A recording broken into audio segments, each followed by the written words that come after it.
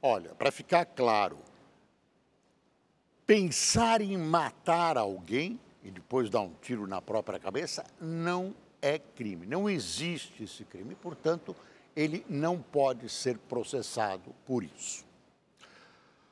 Os instintos mais primitivos, você vê, estão soltos em Brasília. Fatos como esses, envolvendo figuras que decidem a vida nacional, mostram os intestinos do ambiente na capital do Brasil.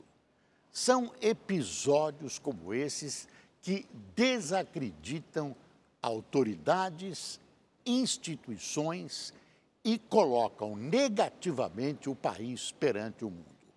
Só há uma frase que resume esse faroeste caboclo. Isso é uma vergonha.